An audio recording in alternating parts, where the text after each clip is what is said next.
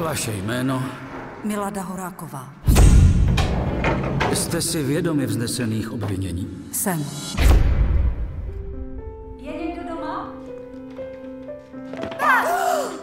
Chyběla si mi. Prezident vás očekává, paní Horáková. Takže tě chce do politiky. Právě se vracím z hradu, kde pan prezident všechny mé návrhy jak byly podány, přijal. Komunisté jsou stále silnější a proto musíš kandidovat do parlamentu. Naše demokracie byla posvátná instituce, hodná úcty, ochrany. Obávám se, že tyto hodnoty už neexistují. Potřebujeme ji na své straně. Velmi jsem se snažila. Snažte se víc.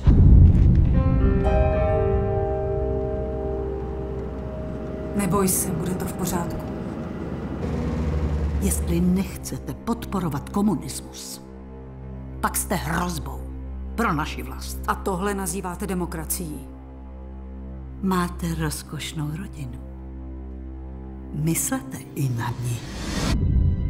Já chci věřit, že zlo bude potrestáno. Chci se donutit věřit, že svět bude takový, jaký by měl být. Ale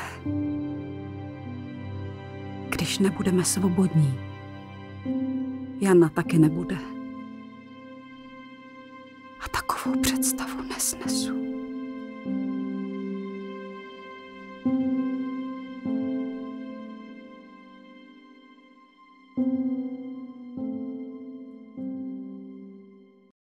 Mm-hmm.